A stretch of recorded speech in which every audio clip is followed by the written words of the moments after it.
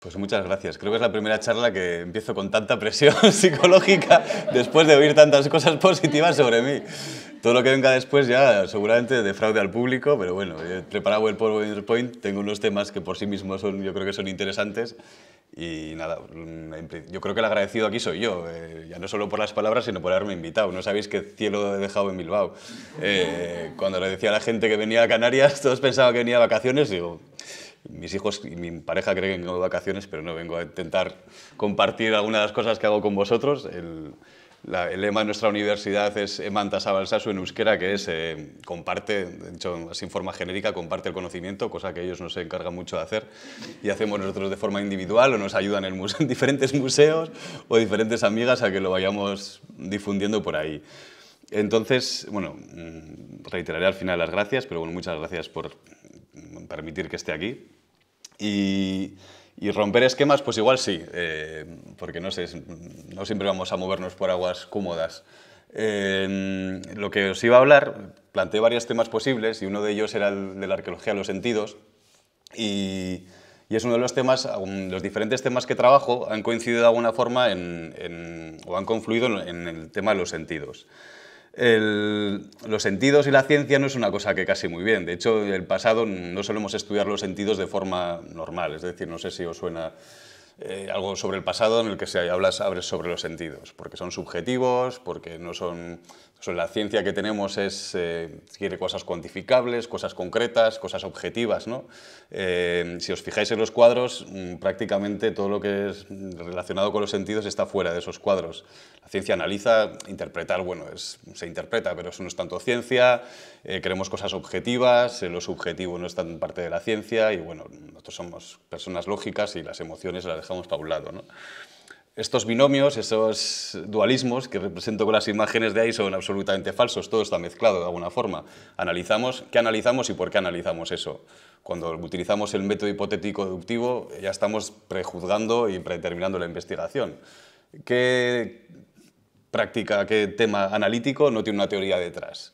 El carbono 14 tiene su teoría, todo se basa en teorías, lo que analizamos eh, ¿Y por qué lo analizamos y cómo lo analizamos? Tiene una base teórica e interpretativa. Eh, podemos, bueno, son unas preguntas que vendrán después, pero mm, realmente quién es mm, objetivo en la ciencia. Eh, sobre esto podríamos discutir bastante, no voy a decir que hacemos todo cosas subjetivas. ¿no? ¿Y por qué hemos desplazado las emociones del, de la ciencia en el caso de, las, de la historia de la historia. No, tenemos un pasado bastante insensible, o sea, miramos al pasado al atrás de una, de una, forma bastante insensible. Solo hay algunos temas, pocos y normalmente cercanos, que nos conmueven de alguna forma a la hora de pensar en el pasado. Entonces, ¿qué tipo de pasado estamos haciendo? ¿no? Eh, hay diferentes autores que han hablado sobre la, ciencia, la conciencia, eh, siempre se nos ha vendido la ciencia como esa cosa que se hace en honor a la verdad. Eh, es, más importante conocer la verdad que para qué sirve esa verdad. Bueno, yo personalmente lo pongo en una cuestión, pero tengo claro que, que pues sí que queremos conocer la verdad, pero que también mm, esa verdad tiene que ser útil de alguna forma. Quizás eso es lo que he aprendido también durante muchos años en donde me ha tocado trabajar la ciencia, yo por lo menos soy partícipe de una, de una, ciencia aplicada, un sentido concreto, más de, me interesa estudiar la verdad sobre el acento en latín y estará muy bien, pero igual también tengo que procurar que lo que haga sirva a alguien para algo.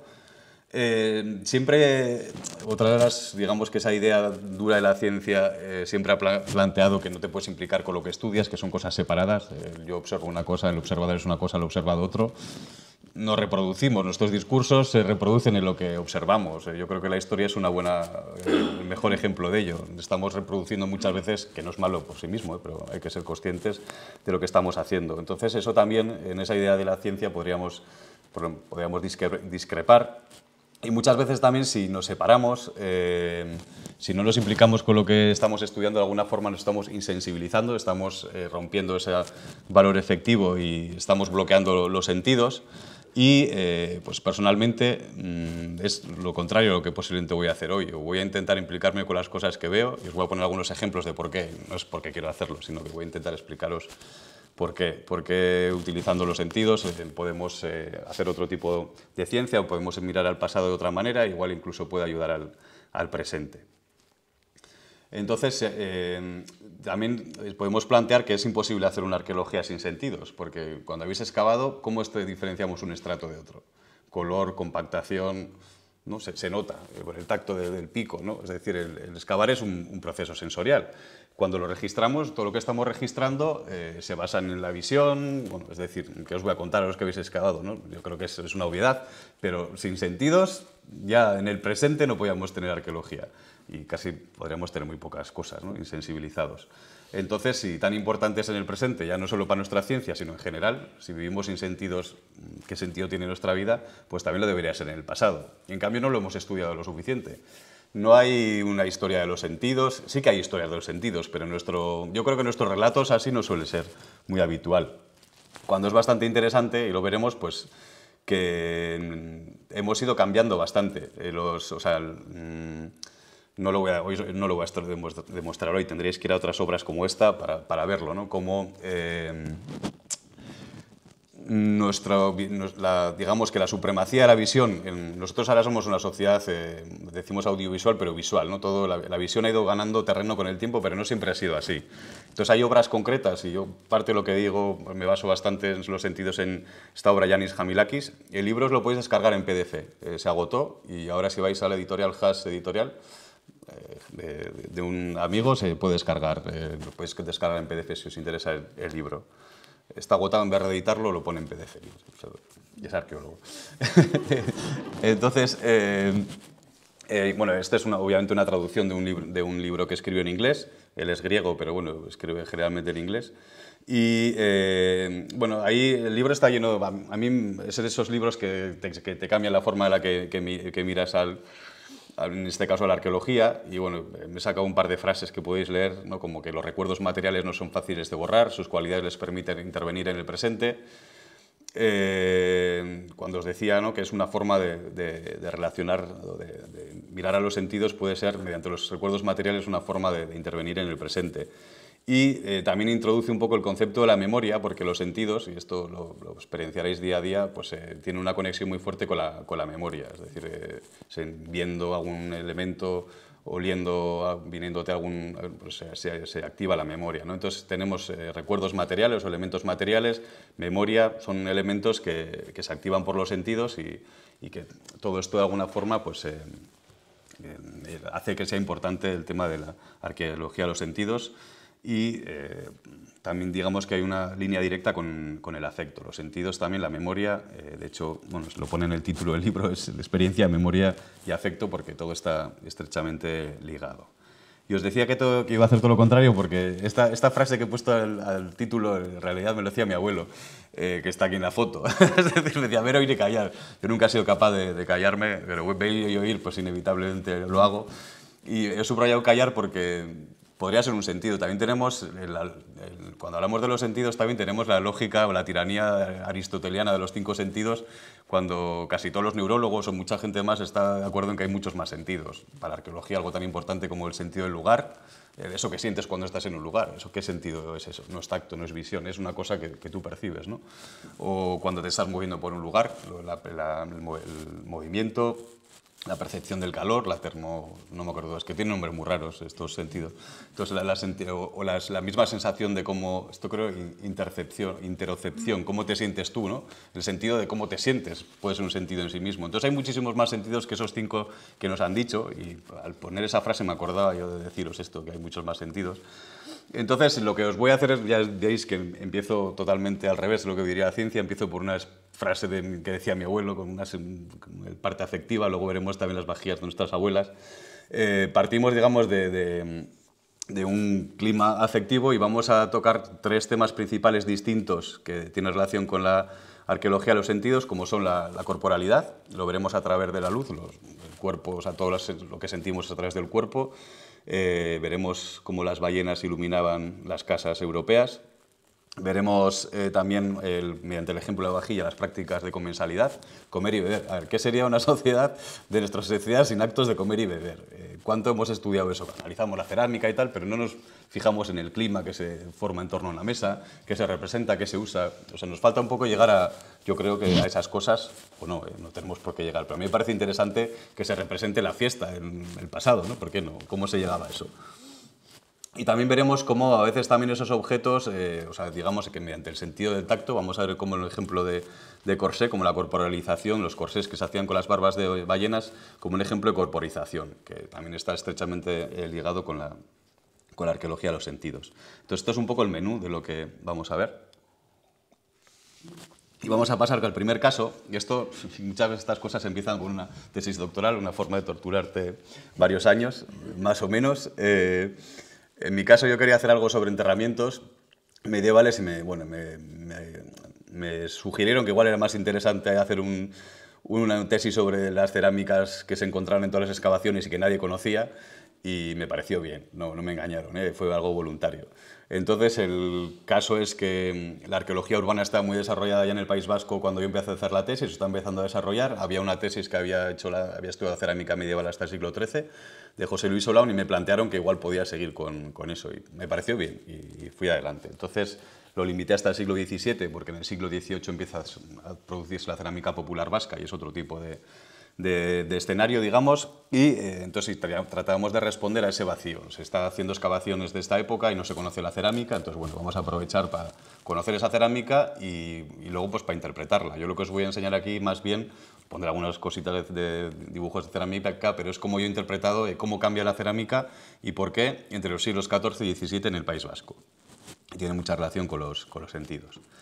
Lo que estuviese esa mancha de ahí, eh, este, ahí dentro de esta Vitoria, sería, eh, bueno, es la provincia de Álava, no, entera, pero sería pues de sur, desde la Rioja Alavesa hasta, hasta allá los valles eh, atlánticos, con Vitoria en el centro, es más o menos un contexto regional.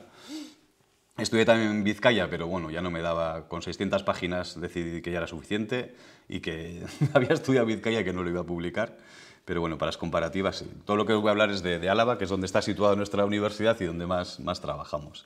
Entonces, hablando de, las, de la vajilla, eh, ¿qué tipos? Una de las cosas que sorprende es que no había tantas cosas. es decir, en el pasado, mm, pues nosotros que somos la sociedad del consumo, que estamos acostumbrados a estar rodeados de objetos, pues el pasado era más, más bien había dos tipos de cerámicas, la que era doméstica y la que no era doméstica. Y la que no era doméstica eran cuatro cosas, como veréis ahora. Dentro de la doméstica, la mayoría era para comer, tenemos elementos para procesar los alimentos, tenemos elementos para consumirlos, bien sean sólidos, bien sean semilíquidos. Eh, tenemos elementos para servir en la mesa y tenemos elementos para, para, transportar y almacenar los elementos. Por las cosas básicas que se hacen en el ámbito doméstico, aquí simplemente pues estos son los que he encontrado yo en, en Álava, ¿no? Con, hay que categorizarlos y demás.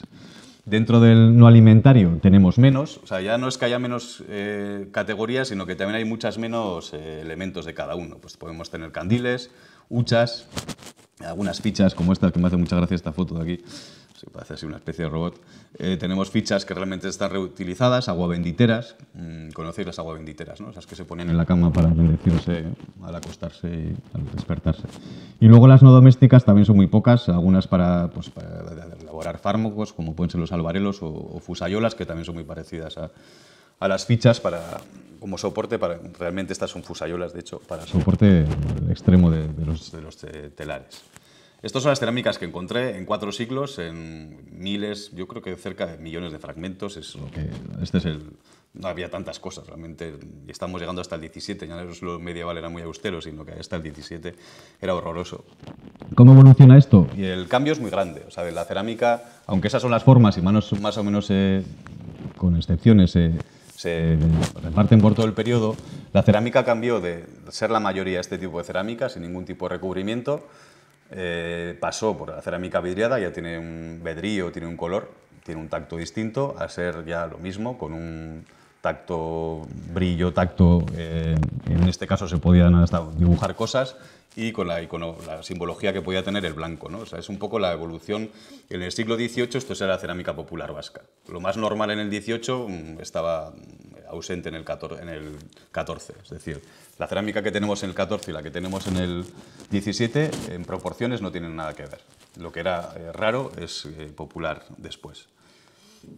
Estos son los lugares. Una cosa que puede sorprender es que nos llegan cerámicas de muchísimos sitios. Eh, incluso llega más en el siglo XIV y en el XV que en el XVI-XVII. Tenemos cerámica francesa, de Barcelona, de, Valenciana, Sevillana, es decir, todos esos lugares están de alguna forma eh, proporcionando cerámicas al País Vasco, que también era un centro productor. Nosotros producíamos, pero aún así llegaban de, diferentes sitios. Lo pongo porque a mí me parece curioso, a mí me, me llama la atención que en el 15 hubiera tanto eh, trajín de, cacharros, además es una cosa frágil, para atrás y para adelante, ¿no? por, nuestras costas y nuestras tierras. Entonces, bueno, es ya se, ve, se va viendo como eh, hay un mercado, hay una economía, digamos, de la, de la, cerámica. Y esto es cómo evoluciona eh, localmente, y pongo dos... Pongo un pueblo muy pequeñito, que es Salinillas de Buradón, muy bonito también, si tenéis ocasión de ir y una ciudad. Es, yo creo que en, Salinillas, no recuerdo, creo, creo que no llegaban a los 50 personas. Y entonces, a finales del 15 en Vitoria eran unas 1.500 personas. O sea, es una ciudad frente a una, villa. Y veis que la evolución es parecida, ¿no? que esta cerámica sin vidriar es la mayoría en el 14 y pasa a ser minoritaria, por lo menos en Salinillas de Buradón, en el 17. Y en Vitoria no pasa a ser minoritaria, pero casi. En cambio, los otros grupos de cerámicas eh, van creciendo exponencialmente, de hecho el vidriado es lo más normal en el siglo XVII, y la vidriada en blanco también. Hablo de vidriada, en blanco frente a esmaltada o igual loza, porque hay debate, eh, porque hay quien, antes decíamos, vidriado plumbífero porque tiene plomo, y estanífero porque tiene estaño, pero hay algunas blancas que no tienen estaño. Entonces, cuando, estos son los químicos los que están fastidiando todo. ¿Por qué hablas de estañífero si no tiene estaño? Pues bueno, pues blanca. Entonces pensé, ¿cómo, ¿el comprador cómo lo vería? Pues vidriada en blanca vidriada en color, ¿no? Pues bueno, yo hablo de vidriada en blanco y vidriada en... Porque, y aquí vuelvo un poco a la idea de ponernos en la perspectiva del consumidor, porque yo no tengo centro productores, toda la cerámica que encuentro es la gente que la había consumido. Y porque me interesa también, eh, si ya vamos relacionando con los sentidos, cómo esa gente que va a comprar, qué es lo que está comprando, qué es, o sea, los colores, las texturas, los, los brillos, ¿no? ¿Qué, qué es lo que ve, cómo lo percibe, o el blanco, la simbología.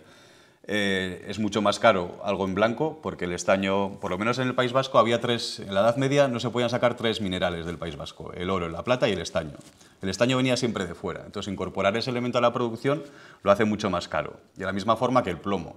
Antes con agua, barro y combustible hacían la cerámica, luego de repente tienen que añadirle el plomo. Ya están los alfareros sabiendo a ver cómo se la gestionan. Y luego a eso le, tienes que incorporar el estaño, el cobalto, el minio para pintarlo. Se va complejizando mucho y son diferentes productos. Entonces, bueno, me pareció bien eh, hacer como una distinción de lo más básico, lo, vidriado, y no porque son ciclos productivos distintos y porque el consumidor lo iba a ver como un producto distinto y iba a tener un precio distinto.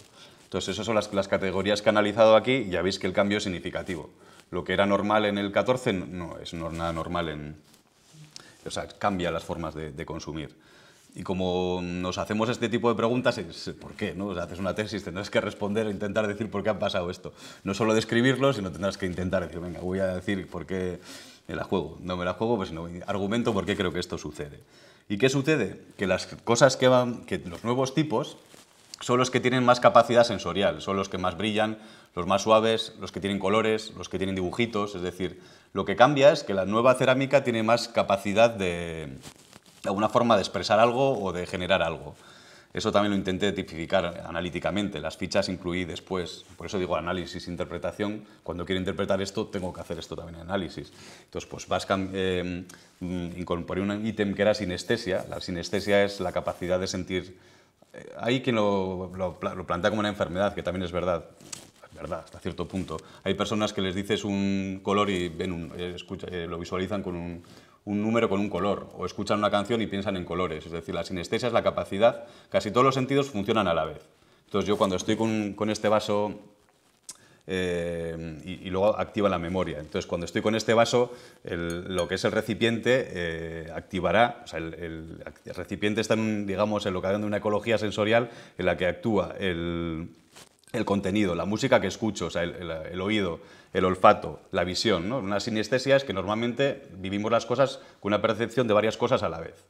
Entonces, eh, eso es un poco lo cada, y cada cerámica en principio va a tener una capacidad para activar eso. Es un poco lo que intenté medir. Bastante etéreo, ¿eh? pero eh, sí que es verdad que, una cerámica es rugosa y, a la vista no es tan bonita y, otras, pues bueno, te, resulta mucho más agradable, vistosa, brilla y, demás. Es un poco lo que, y además son, las que cambian. De hecho, mm, luego lo veremos, la cerámica que cambia es una concreta. Eh, siempre es la que, la que cambia.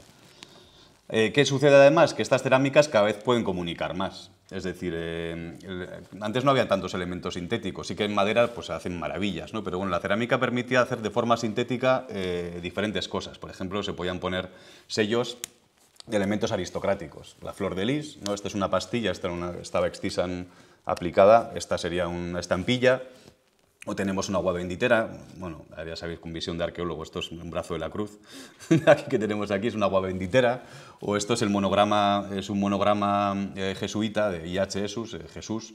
Entonces, bueno, son, de repente la cerámica ya no es solo que, eh, pues que te recuerda, que, te, que, es, digamos una forma es, de una calidad mejor o peor, sino que encima servía también para comunicar y la gente la podía utilizar para, para, sus, eh, bueno, para, su, representar de alguna forma sus ideologías, fueran aristocráticas o religiosas. Eh, lo curioso, lo gracioso de todo esto es que siempre viene de sobre una tradición islámica. Toda esta cerámica, las innovaciones tecnológicas de cerámica son islámicas. Y allá le pones los temas cristianos, ¿no? esas paradojas que tiene la vida, que sería la vida sin esas paradojas. Eh, y aparte de todo eso, es decir, la cerámica tú puedes decir cristiano o soy noble. Aparte de todo eso, ahí ya yendo más a, ahí habría que ir a la psicología, a la antropología, a diferentes estudios que eh, dicen que los objetos situados en algunos sitios eh, generan una serie de mensajes. Hay unos experimentos psicológicos muy interesantes que eran hacerles entrevistas a personas en una habitación y en esa habitación ponían una, una bolsa, o sea, un maletín de estos de ejecutivo ponían ahí y le hacía la entrevista. Las respuestas eran muy distintas en función si había un cuadro de Wall Street o, la, o la, el maletín que si no, no lo había. Es decir, que colocar determinados objetos en determinados escenarios condiciona tu respuesta. ¿no? Entonces, eso son lo que se dice en, pues, en este caso, que la cerámica también, de alguna forma, qué tipo de cerámica tendrías, estaría dando un mensaje al que está interactuando contigo. Entonces yo también es un poco que ya no solo comunican directamente, cristiano, noble, no sé qué, sino que dices, fíjate qué pedazo de vajilla tengo, y no te lo está diciendo, pero está ahí, tú estás así como, ¿no? Recibiendo un poco ese mensaje, que es como creo de alguna forma que, actuaría esta vajilla en, el pasado. Y aquí eh, entramos un poco ya en, no era interpretación final, pero casi, ya os desvelo un poco que, que la mayoría de vajillas, que son las nuevas y las diferentes, son las que se utilizan en servicio de mesa es decir, la mesa. Mm, la mesa, antropológicamente, también es el lugar en el que lo doméstico entra en... O sea, es donde... Y yo, aquí pensar ya en vuestras alacenas, en vuestras eh, abuelas, en vuestras vajillas, no sé si todavía tenéis en casa una especial, eh, es donde en la mesa, es cuando invitas a alguien, es donde entran en, conjunto, digamos, el mundo doméstico, tu mundo, con el exterior. Es donde se produce esa discusión. Y ahí es donde tú sacas tu artillería, es donde tú sacas tu mejor vajilla y es cuando esa vajilla que tienes escondida ahí, lo sacas cuando viene alguien de fuera y es cuando eh, lo utilizas, ¿no? Eh, entonces, ¿qué sucede? Pues que siempre tienes, o sea, de hecho los reyes suelen sacar su alacena. Ahí en muchas, en muchas cenas se acaba la alacena y se, se, enseñaba la, vajilla. Entonces, bueno, la vajilla de alguna forma forma, forma parte de, esa, de ese ritual o ese discurso eh, lo curioso aquí es que siempre hay un tipo exclusivo. Acordaros de las cifras, que la vidriera era muy poquita y luego había mucho. Cuando la vidriera se generaliza, entonces es la vidriera en blanca. Y cuando la vidriera en blanca en el 18 se hace común es, la, porcelana fina inglesa. Y siempre hay un tipo de... Y a día de hoy luego es el coche y a día de hoy ya no sé cómo los diferenciamos, ¿no? Pero siempre hay un elemento para diferenciarte. Y en un mundo material pobre, la vajilla eh, jugaba un, rol especial. Y de alguna forma siempre pasaba lo mismo. Venía una cerámica de fuera, la vidriada, las primeras vidriadas vienen en el 12 eh, a, Vitoria y las empiezan a producir en el 15. O sea, llega y luego tú lo, lo, acabas produciendo. Y las vidriadas en blanco llegan en el 13 y se empiezan a producir en el 15, en, Álava. Entonces, no en todos los sitios se, fija, ¿eh? pero en este caso llega una importación, hay, hay una demanda y se, y se empieza a producir localmente. Y así, se mueve, así podríamos explicar por qué es tan distinto entre el 14 y el 17 la, cerámica. Entonces, es algo así como que, resumiendo, ¿no? Como eh, es una forma de comunicación no verbal y como, eh, no sé si lo digo aquí o no, casualmente es en Vitoria, en plena guerra de bandos, cuando más eh, se, se, genera esta dinámica. si comparábamos la evolución de Salinillas, de Burado, en un pueblo pequeñito, en el que solo hay un señor, con el de Vitoria, en los periodos más convulsos el consumo de cerámica funciona de forma diferente. De hecho, en el 17 Vitoria eh, el consumo es más pobre que el de Salinillas de Buradón. Es decir, esto de alguna forma funciona porque puedes comprobar que en determinados momentos en los que hay más competitividad, quién es más, entre los señores vascos era quién era ser más, el, consumo cerámica de determinados tipos se dispara. O sea que sí que hay una corroboración histórica, de, no es solo antropológica además, y que tiene sentido, sino que parece que, hay una correspondencia. Ahora es cuando tendría, tendría, que poner las cifras. Entonces, esa idea de eh, la construcción material de la desigualdad, y bueno, ponía una frasecita de Latour que, que, no os voy a leer, pero la idea es esa, cómo la diferencia, eh, las diferencias se tienen que, materializar y se tienen que enseñar y se tienen que representar. Entonces he empezado con mi abuelo y ahora mm, en mi tesis siempre digo que me ayudó a entender a mi abuela. Mm, esto también cuando lo digo en clase, algunos todavía siguen teniendo esa vajilla, pero ¿por qué tienes esa vajilla ahí? Pues no lo entendía porque digamos que su función ya la había perdido, ¿no? Pero eso también nos enseña de cómo esas cosas que tú conoces eh, tienen un sentido y ya cuando están ahí almacenadas pues se pierden todo. ¿no? Pero bueno, a mí por lo menos mi tesis me ayudó a entender a mi abuela, que era bastante, para darme el grado de doctor. Eh, también nos, nos de alguna forma nos enseña, y os digo que si quieren mostrar las lecciones al presente, pues que esa idea de exclusividad o de consumo exclusivo pues que es excluyente, ¿no? que cómo nos dividimos, hasta qué punto mm, muchas veces asumimos ese tipo de, de, elementos y estamos haciendo, generando, acentuando las diferencias sociales o al menos nos sirve para ver cómo funcionan, cómo eh, nos intentamos diferenciar, cómo intentamos eh, digamos, eh, ser más que el de al lado y cómo muchas veces utilizamos la materialidad en, en todo eso. No sé si una autocrítica, una autorreflexión sobre nuestro comportamiento como individuos y, como sociedad. Primer caso, ventilado. Vamos, a, vamos al segundo. Hay veces que, bueno, pues que la vida te lleva por caminos raros y acabas estudiando cómo los vascos matan ballenas. Eh, País Vasco por aquí. Eh, iban sobre... A ver, las pescarías... Los vascos tienen varias pesquerías. Unas de ellas son en Irlanda, que son en la Baja Edad Media, que estoy empezando a estudiarla ahora, esto me pilla un poco más cerca.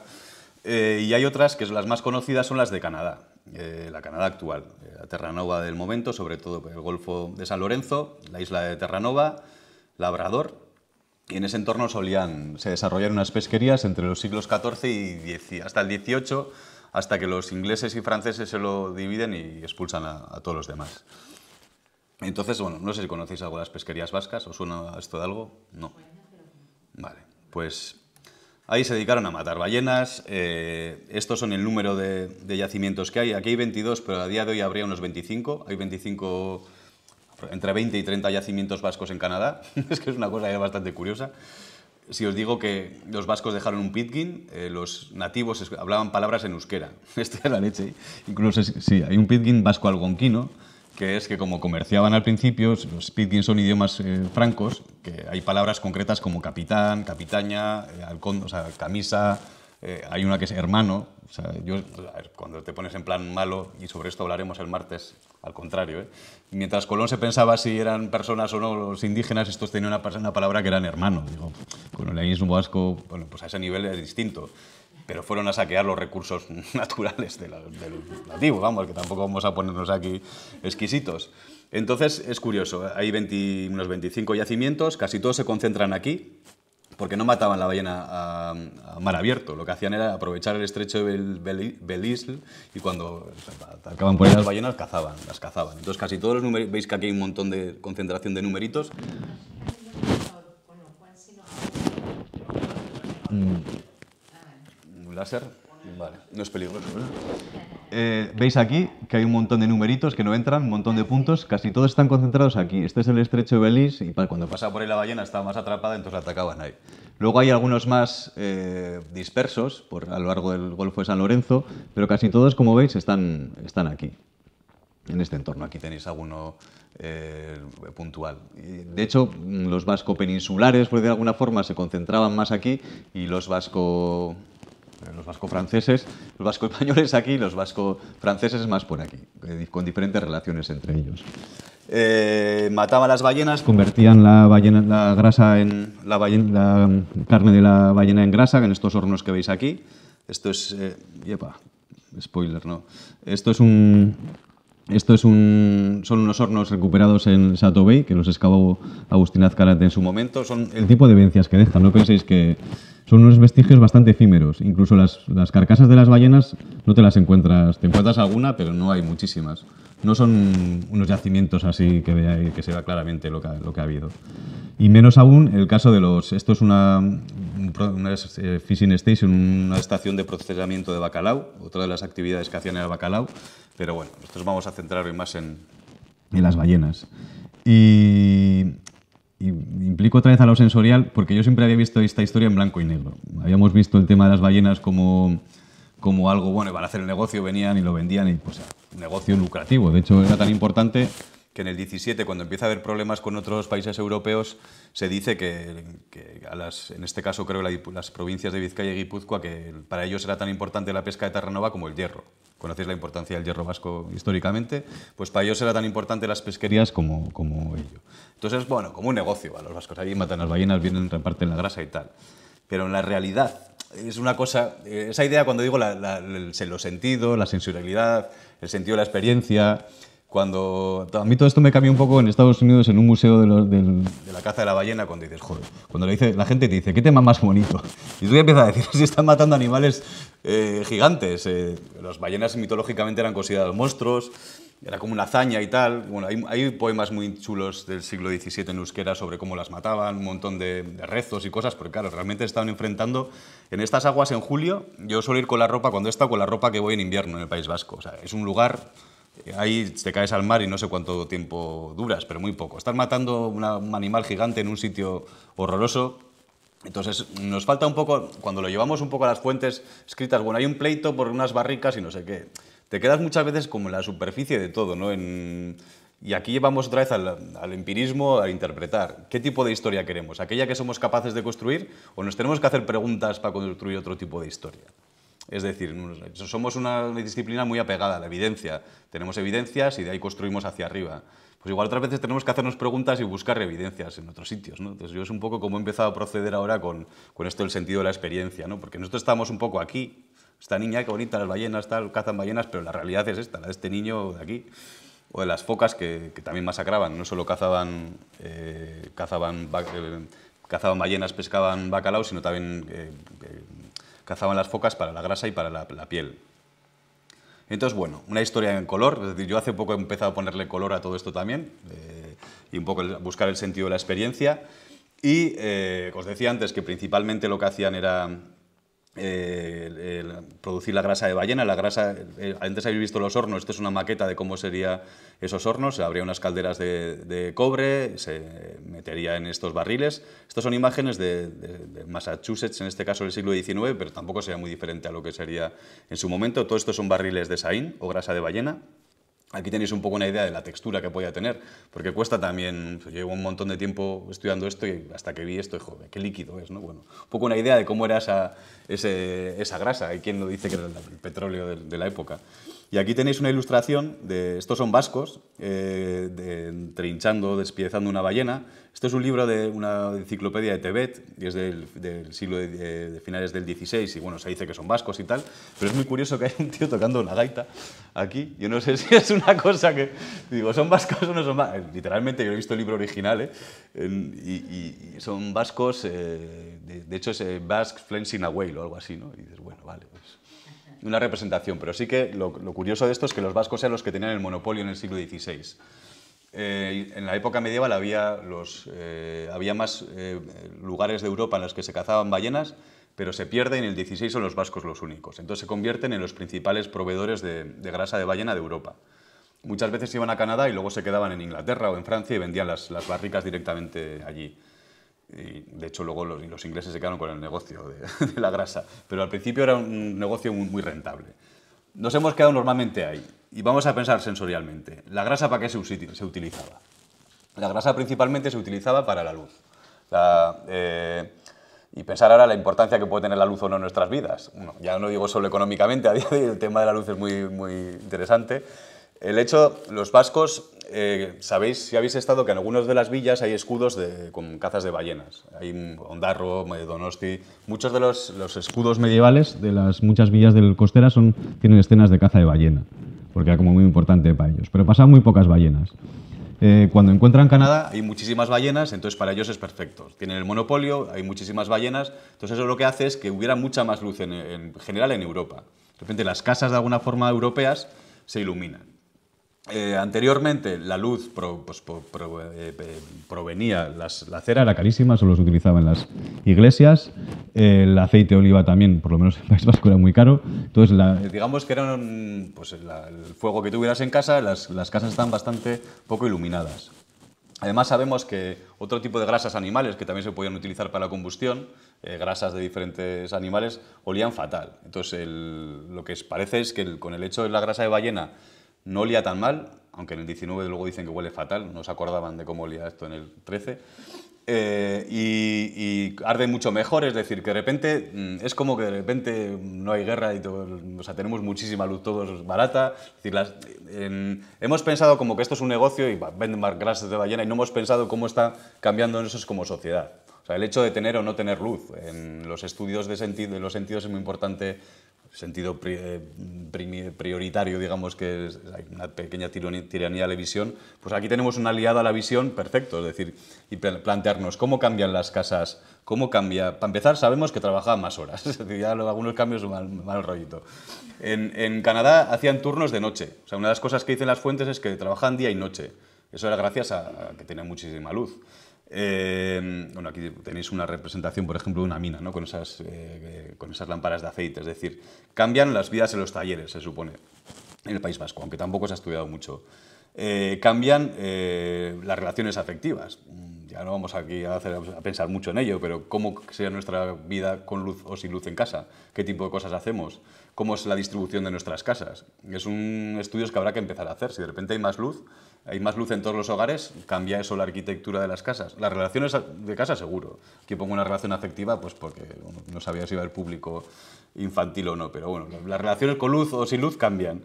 Eh, podemos trabajar en casa. Eh, por ejemplo, para, hay, hay estudios de cuánto hay que, cuánta luz hace falta para poder coser. coser como sin luz, un poco complicado. Estudios, entonces, bueno, cambia de alguna forma, el hecho de que haya mucho más luz tiene que cambiar nuestras vidas. Y es una de las cosas que estoy empezando a intentar estudiar si cambian las formas los tránsitos en casa. acordaros cuando nos levantamos a las noches en casa que vamos tocando las paredes y eso, eh, pues bueno, es bastante distinto. y bueno, son las cosas que creo que tenemos que empezar a pensar en relación a los sentidos y, a esto que no era simple un negocio, sino que también nos cambió eh, las formas de vivir como el alumbrado público, casualmente o no, aparece en el siglo XVI principalmente. Tienes algunas imágenes de época. Entonces, bueno, ¿cómo son las ciudades? Cuando en el XIX se generaliza el alumbrado, se dice que el mejor policía es una farola. O, bueno, imaginaros vuestras ciudades con o sin luz. Es que el hecho de que haya luz no le hemos dado importancia, eh, pero podríamos hablar de muchísimas metáforas, la oscuridad, la luz y todo esto, pero esto que, estamos estudiando incide directamente en en tener más luz y tener más luz pues, a nivel social es, es muy diferente. Hemos vendido otro caso estudio y quizás este es igual un poco el más curioso, no, no sé si es más curioso o no, pero es el de las barbas de ballena. Eh, no sé qué estáis imaginando cuando os hablo de barbas de ballena, pero son estas cosas, estos filamentos que tienen aquí las ballenas. Eh, no todos los tipos de ballenas tienen estos filamentos. Entonces los vascos buscaban principalmente dos, unas que tuvieran barbas y, las, y, otras que flotaran. Porque a la hora de matar las ballenas eh, había como tres... Sabéis que esto lo hacían en las pequeñas chalupas, estas en las que se hacen carreras. O sea, el barco estaba allí, se bajaban en la chalupa, había un arponero, el striker para los ingleses, los ingleses los contrataban, y luego había otro que era el que soltaba la cuerda. O sea, uno lanzaba el arpón y otro iba soltando la cuerda. Porque la ballena lo que hacía es, cuando estaba herida, bajar. Bajar. Entonces iban soltando la cuerda, soltando la cuerda, hasta que la ballena dejaba de luchar, subía arriba, flotaba, agarraban con la cuerda y ya se la acercaban y la, despedazaban.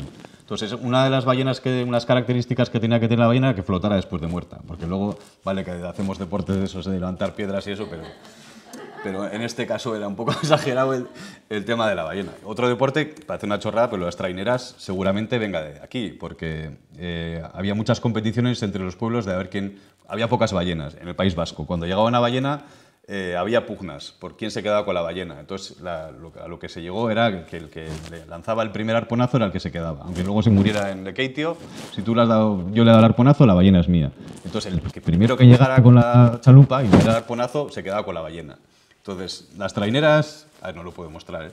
pero el tema de las traineras, las carreras que hacemos con, seguramente tengan bastante que ver con esto. De hecho, las chalupas y las traineras son muy parecidas. Entonces, que flotaran para poder recogerlas y que tuvieran barbas. Porque con las barbas, que son estas cosas que tenéis aquí en la excavación, estas cosas blancas, se hacían bastantes cosas. Yo creo que alguna ya os he dicho, alguna de ellas. Aquí tenéis, eh, este es un secadero de barbas, estas cosas que tiene así, las fotografías históricas. Esto, ¿veis con el cursor? Ah, no lo veis. Esto de aquí es un secadero de barbas. Todo esto son barbas que se dejan a secar. Las barbas se, se les quitaban a las ballenas de la mandíbula, se ponían a secar y una vez secas, cuando ya se iban a, volvían, pues las ponían en fardos, ahí con el tío Sam, y se las llevaban a, se las llevaban y las vendían. ¿Qué hacían con esas barbas? Pues antes os hablaba que la, cerámica era un soporte sintético, pues con las barbas hacían estas especie de láminas, esto es una imagen de una barba, hacían estas láminas que eran, eran lo más parecido al plástico podía haber, que podía haber. Era flexible, era maleable, se podía trabajar bastante bien. Era un material que no existía. Esto no tenía que haber sucedido ahí. Entonces, cuando voy fuera a hablar de este tema, le dices, ¿qué? Lo dices en inglés, claro, what's a a basque, ¿no? Entonces, entonces, como vasco tendríamos esta imagen del, tío con chapela, por eso estaba bien. Eh, no, esto es un vasco. Pues un basque en Inglaterra es sinónimo de, corsé. Eh, ¿Por qué es sinónimo de corsé? Porque los vascos eran los únicos que llevaban barbas de ballena al principio. Entonces, cuando los ingleses dicen, ah, dice, ah, ya sé por qué es Basque, porque es Basque, Corset, o hay diferentes nombres para llamarle, pero uno de ellos arcaico es Basque, porque los vascos eran eh, los que llevaban las, los primeros corsés, se hacían con barbas de ballena, ya tenéis aquí una imagen de un... Estos son ya propaganda del siglo XIX, pero ya veis que están hechos... Whalebone es barba de ballena, balín o whalebone serían barbas de ballena. Entonces son los corsés, los primeros corsés eran de hierro y de, madera y no triunfaron nada, hasta que llegaron estas láminas flexibles de ballena y entonces los corsés eran, eh, estaban hechos con barbas de ballena. De hecho, en castellano un término que es basquiña. No sé si también lo conocéis. Eso es. Entonces, pues bueno, todo esto al principio se hacía, eran los vascos los únicos que repartían esta cosa por Europa y le dio nombre a los corsés. Entonces, eh, es curioso, ¿no? Los corsés... Mm, o sea, sí, es bastante desagradable, porque realmente los corsés lo que están haciendo es corporizándose. Los documentos de la época dicen que los cuerpos se emballenan, las ballenas van a los cuerpos, eh, y es curioso cómo un producto colonial está actuando directamente sobre los cuerpos de las mujeres. Los corsés eran... Luego hay corsés victorianos, es verdad, pero principalmente los usaban los esclavos, los niños y las mujeres, con esa idea un poco de, de la disciplina. Yo al principio cuando interpretaba esto lo interpretaba más con una idea de dar una forma concreta a un cuerpo, de producto, pero los estudios antropológicos y de, los... Esto, es un mundo rarísimo, bueno, raro, un mundo guay, pero bueno, con arqueólogo meterse en estas cosas, lo relacionan más con la idea de debilidad, de una mujer que necesita estar disciplinada y sujetada de alguna forma. Y nos llama muchísimo la atención porque, bueno, vemos aquí las deformaciones, ya en, en su momento eran conscientes de las deformaciones que generaban, era una, las mujeres tenían que saber estar y caminar con los corsés, incluso si estaban embarazadas, que hay casos, imaginaros lo que puede ser, no, os lo imaginéis. Eh, esto que pongo aquí de sense ways, good sense, buen sentido, el saber estar, ¿no? Es como las mujeres con los pies de loto, tienen que saber caminar incluso en esas circunstancias, es, es algo parecido. O sea, el hecho de un corsé, este cuerpo de aquí, es como este pie, bueno, lo veis, ¿no? Vale, perdón. Este pie es un pie de loto, eh, sabéis que tienen, les obligan a hablar, bueno, una pauta social que en Oriente eh, las queisas y tal, determinadas personas tienen que mostrar un saber estar, saber caminar en estas circunstancias, pues esto sería algo equivalente en, su periodo. Es decir, eh, pues es un horror, pero bueno, era la moda de la época y ya veis. Pues, que, y conductas sociales determinadas. Entonces, bueno, una de las cosas que, con las que se hacían esto son los corsés. Nos podemos haber quedado, bueno, venden barbas y ya está. Pues no, vamos más allá y nos encontramos con esto. Y ya no solo se hacían corsés, sino que también se hacían paraguas, o para, los primeros eran parasoles más bien. Veis aquí una imagen de, de un paraguas, está hecho con barbas de ballena, este es un que están aquí, de los primeros parasoles son. Y aquí... El discurso es un poco más complejo, porque el, tema del parasol era, eh, ahora vamos a acordarnos de las pelucas y los, las caras empolvadas, era una idea de tener una tez blanca, una tez de que, no habías trabajado. Entonces, eh, sí que encontraréis, si hacéis algún tipo de búsqueda de imágenes sobre un parasol con un rey, pero casi todas las imágenes que encontraréis una mujer. Es la mujer la que tiene que protegerse del sol, la débil, la que tiene que tener imagen de como que no ha trabajado para una imagen social determinada.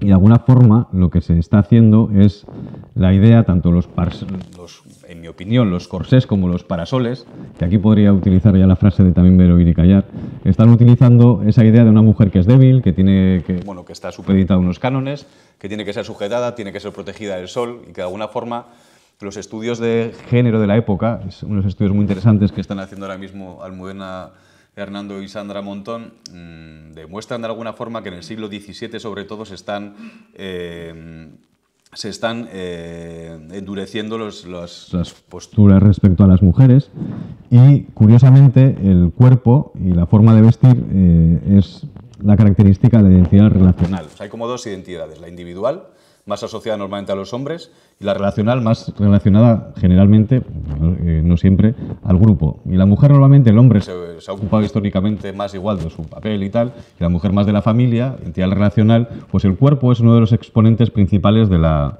de la identidad relacional. Y casualmente es ahí donde se está actuando mediante mediante estas, eh, estos productos coloniales, ¿no? porque parece que el colonialismo solo es que fastidiamos a los indios y tal, pero bueno, en este caso también los productos coloniales están sirviendo para colonizar también los cuerpos femeninos. Y pasamos al siglo XIX. Estamos también, queréis o no, estamos yendo del 14, 16, 17 y tal, y estamos llegando al 19. Y ahora vamos allá, como estamos de buen rollo, vamos a ver cómo cambian las formas de matar. Eh, a través de los sentidos y, claro, después de esas últimas diapositivas, ahora cómo podemos superar esto. a ver cómo nos podemos matar. Entonces, eh, pues aquí de nuevo, eh, no sé si conocéis, imagino que conocéis el carlismo, ¿no? las guerras civiles del siglo XIX. Fernando VII eh, quiere que sea su hija la reina, Carlos, el hermano de Fernando VII, no quiere, entonces empieza una guerra civil. Eh, una guerra civil que dura, bueno, empieza la práctica de los 30 y acaba en los 70. O sea, es un siglo XIX. El siglo XIX es apasionante. Se empieza expulsando a los franceses. Luego se empiezan a dar de leches entre diferentes... Eh, un desastre. Normal que lleguemos al 20 como llegamos. Entonces, eh, el carlismo, aunque parezca mentira, todavía está vivo. Hay partidos en Navarra, puedes votar al partido carlista, si quieres, a día de hoy las charlas que damos en Navarra vienen representantes del partido de la Comunión Tradicionalista, que son de extrema derecha, y están hablando con nosotros de los temas, y el partido carlista es de izquierdas. Y es una cosa muy, muy rara. O sea, yo solo no hay un argentino en la sala, por eso vamos a buscar conmigo. Es como la política argentina. No entienden muy bien, son de izquierdas, de izquierdas, izquierdas, derechas, izquierdas. Y aquí es un poco lo mismo. De un acto súper tradicionalista ha salido un partido de izquierdas. Y se dieron de leches en Montejurra, en una batalla o sea, que hubo varios muertos y tal hace no tanto. Eh, bueno, cosas curiosas del carlismo. Incluso hay un pretendiente. ¿eh? Si hubiera, si pasara algo, mm, hay un pretendiente preparado. Carlos Javier Borbón y Parma es el pretendiente carlista. Digo que no es una cosa que esté cuidado que no está finalizada. Y, está esto está también vivo de alguna forma. Hay un museo del carlismo en Estella, es una de las ciudades principales del carlismo, que es donde hemos trabajado sobre todo. Hay un museo del carlismo. Y esto que veis aquí, estas pintadas que veis aquí, son del 2010. No sé, es decir, por Don Carlos. eh, Montejurras, justicia, tal. Es una cosa que. Estas cosas que parecen que están superadas y no están superadas. Bueno, estas son curiosidades que os cuento de mis experiencias. En realidad, todo esto, ¿yo por qué me dedico a hacer estas cosas? Pues porque a los alumnos les dices que la arqueología contemporánea es digna y hay que hacerla y eso, y luego dices, pues bueno, ayúdame a hacer una tesis sobre carlismo. Pues vale.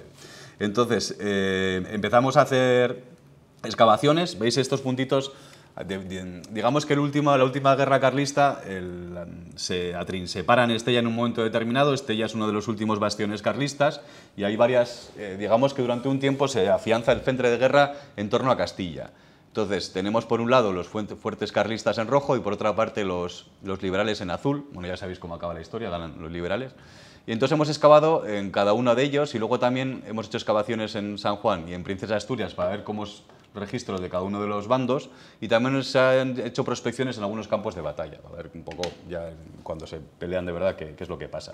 Y aquí tenéis un mapa un poco con la incidencia del, del- de las de, digamos, de, de la guerra carlista y, bueno, como siempre, con calzador, eh, Canarias, sin ningún tipo de... Aquí no afectó, entonces, bueno, no, no pasa nada si, si no, no lo conocéis. Eh, entonces, eh, también hemos excavado uno en la primera guerra carlista y, y es importante porque la comparación que voy a hacer sobre las formas de matar tiene más que ver entre la- cómo cambia entre la primera guerra carlista y la, y la última guerra carlista.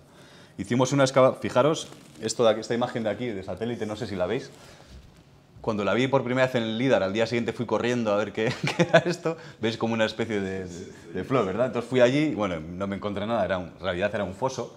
Eh, es el foso este que lo excavamos, esto es una parte de- del foso que estaríamos hablando de esta parte de aquí. La excavamos y bueno, no nos encontramos apenas nada, solíamos a los carlistas ecologistas. O bien no, había, no hubo guerra en, esta, en este lugar, o bien, bueno, pues realmente reciclaban todo, no sé. De hecho, tuvimos que hacer unas prospecciones metálicas que están señaladas con estos puntos de aquí. Tuvimos que buscar. En el fuerte no nos salió ningún tipo de material. No sabíamos si era un fuerte de la primera guerra carlista, de la tercera, yo qué sé, la guerra de la independencia, no teníamos ni idea. Entonces tuvimos que hacer una serie de sondeos, bueno, con detector de metales, tema controlado, pidiendo permiso y todo esto, devolviendo luego el material al museo. Eh, y encontramos varias cosas. Entre, otras cosas, esta bala que es- esta este vaina desde un proyectil de la guerra civil. Esto se reutilizó en la guerra civil. Y encontramos una bola de avancarga. O sea, la avancarga es una bola de plomo que se cargaba las escopetas por delante. Y encontramos un botón del batallón Compostela, que era uno de los que estaban eh, eh, guardando Bilbao. Sabéis que, eh, no os he explicado, esto está en Yodio, y de alguna forma lo que estaban haciendo era sitiando Bilbao. Y el batallón Compostela, algunos de ellos estaban en Bilbao y otros vinieron con Espartero y eh, rompieron el bloqueo. Entonces lo que bueno, pudimos ver que realmente este, este fuerte estuvo ocupado durante la Primera Guerra Carlista. Eh, este tipo de balas solo se utilizan hasta, hasta mediados del siglo XIX. Bueno, luego también se utilizan, pero principalmente es la única... Os podéis imaginar a, ahí a Kevin Costner, era Kevin Costner el que estaba derritiendo el soldadito de plomo y haciendo la... pues bueno, ese tipo de balas son de, del siglo, principios del siglo XIX y tenéis una, una foto del, del, del foso. También excavamos, los que excavamos, eh, solo os he enseñado los de Navarra, el otro excavamos en, en Álava, eh, los que excavamos en, en Navarra son estos, en Villatuerta este sería un fuerte liberal, es una, eh, veis que es en forma de cruz griega y aquí tenemos el acceso, que sería este acceso de aquí, y con un gran foso que lo, que lo rodea. Aquí tenéis las obras de consolidación que se hicieron. Y excavamos otro también del bando carlista, que se veían, en- eh, afloraban estos restos de aquí y que se- serían los que estaban en este lugar de aquí y eh, hicimos otro sondeo aquí donde estaría el foso, que no, creo que no se trae ninguna imagen. Eh, bueno, excavamos todas estas cosas. En todas las excavaciones que hacemos, eh, solemos hacer eh, visitas abiertas a la gente. Otra cosa es que vengan o no. Pero bueno, en este caso, como la mm, eh, memoria carlista está muy viva, la gente venía. Venía bastante. Y es curioso, y es, ya es un proceso de memorialización y de objetos y cómo genera memoria. Este caso de aquí es el fuerte liberal y este es el fuerte carlista. Y en el fuerte carlista, Cuando hicimos las visitas visita nos encontramos esta especie de bastón clavado ahí. A ver, puede ser uno de un paseante, pero yo creo que esto es algo más que un palo que alguien llevaba. Yo creo que esto tiene algún discurso detrás. Y esto de aquí que ponía, aquí estuvo Ana Belén. Como gente, como una, desarrollando una idea de pertenencia respecto al lugar, en el caso carlista. Es curioso cómo eh, a día de hoy todavía siguen actuando como eh, memoriales y cómo la- lo tienen que de alguna forma materializar y dejar un rastro que, bueno, que podemos documentar o no. Pero realmente sobre las formas, nuevas formas de matar, lo, lo que os quería comentar era que pasamos de una guerra cuerpo a cuerpo, en la que ves, hueles, escuchas, este tipo de cosas, una guerra cuerpo a cuerpo. eh, bueno, no os he enseñado ningún tipo de... Bueno, las bayonetas, la bala de bancarga, eh, la, cadencia del tiro, o sea, podía, solo podíais, podéis imaginar lo que puede ser disparar con una bala de bancarga, la pólvora por detrás, la borra por delante, muchas veces yo creo que se mataban más ellos, que hay estadísticas sobre esto, ¿eh? que lo que mataban al resto. Una bala de estas mató, por ejemplo, al general Zumalacárregui y lo que te pasaba es que se te cangrenaba la pierna. O sea, esto no te mataba directamente, te morías por gangrena, porque se te infectaba la herida, pero tenían que darte la cabeza de una forma muy concreta para matarte. Por eso casi siempre se acaban matando cuerpo a cuerpo. Y ya, bueno, os estoy obligando a pensar unas cosas. Eh, la experiencia sensorial de matar y la, la distancia, y esto de aquí vamos a llegar a los drones, ¿Cuándo se empieza a tomar distancia?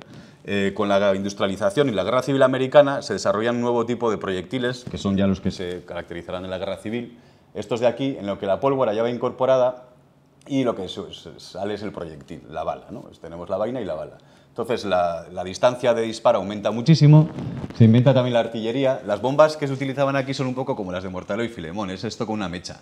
O sea, existen ese tipo de granadas, eran, mucho, eran pocas, no eran muy efectivas.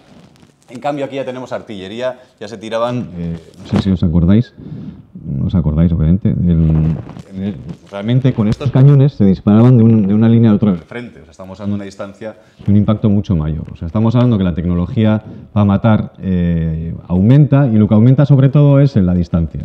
Y la distancia, para tener experiencias sensoriales es muy importante. Entonces, como el tema es la sensorialidad, el matar cerca o matar lejos es muy diferente. De hecho, la tecnología de guerra se basa en distanciarse cada vez más.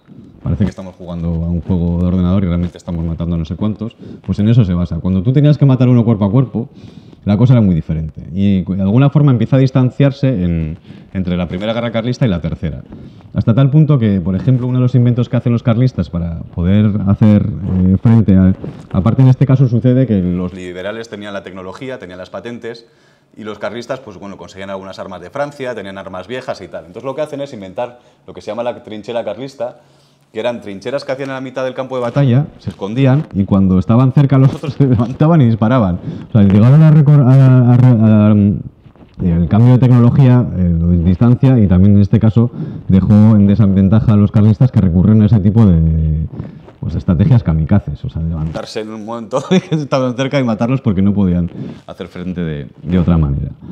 A nivel sensorial, lo que nos, esto nos habla es de que el, tomar más distancia, el no tener una experiencia transcorporal sensorial, lo que te hace es eh, tener una pérdida de afecto progresiva y no importante, importarte tanto matar a, otra persona. Hasta qué punto también los sentidos, la material nos enseña que los sentidos también eh, hay que insensibilizarse, que hay que cortar de alguna forma la, experiencia sensorial para poder matar a otra persona mejor. Y es en lo que se basa la tecnología de guerra actual.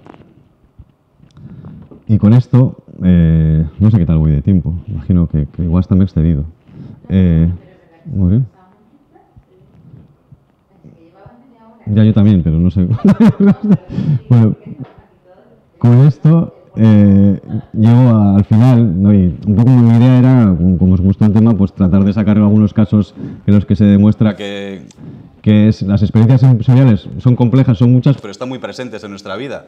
Y como parece en el registro arqueológico, pues bueno, como son etéreas, subjetivas y tal, bueno, no se puede medir, pues no las solemos buscar, ¿no? Por otra parte también que una arqueología sin sentidos es imposible. No podíamos percibir nada, ninguna materialidad. Estudiamos la materialidad, la materialidad solo se puede aprender eh, una implicación sensorial. La tienes que ver, tocar, medir. Esto solo se hace con, con los sentidos.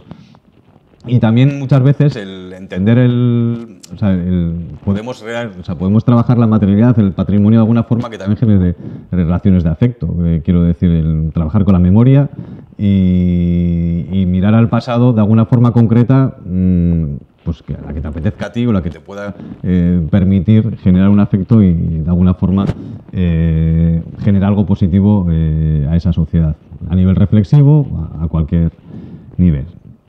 Con esto sí que acabo, sino sin dar los agradecimientos a Carmen, a Macri, a los ayuntamientos que han pagado las excavaciones de las que os he hablado.